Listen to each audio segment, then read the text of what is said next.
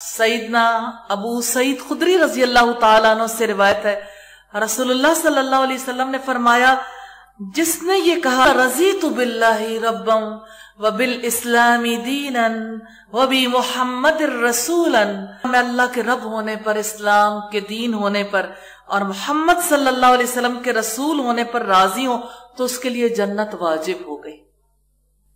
جنت واجب ہو گئی۔ کیونکہ انسان کو اس کی ضرورت ہے۔ قبر میں اترتے ہی تین سوال جو فرشتوں کی جانب سے کیے جائیں گے، وہ یہی تین سوال ہے تیرا رب کون ہے؟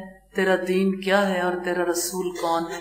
اگر دنیا میں اللہ کے رب ہونے پہ راضی نہ ہوئے، اسلام کے دین ہونے پہ راضی نہ ہوئے، محمد صلی اللہ علیہ وسلم کے رسول ہونے پر راضی نہ ہوئے، تو کل قبر میں اترتے ہی کیا جواب ہوگا؟ اس دنیا میں انسان کے ساتھ پرابلم یہ ہے کہ وہ اپنی مرضی کرنا چاہتا ہے اور اللہ تعالیٰ چاہتے ہیں کہ اللہ کی مرضی پر انسان راضی ہو جائے۔ تو اللہ کی مرضی سب سے بڑی چیز ہے۔ اس کو مان لینے والا کامیاب ہے۔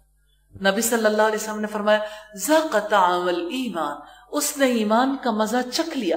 من رضی باللہ ربن جو اللہ کے رب ہونے پہ راضی ہو گیا۔ وبل اسلامی اسلام کے دین ہونے پر۔ وبی محمد نبی اور اور محمد صلی اللہ علیہ وسلم کے نبی اور رسول ہونے پہ راضی ہو گیا۔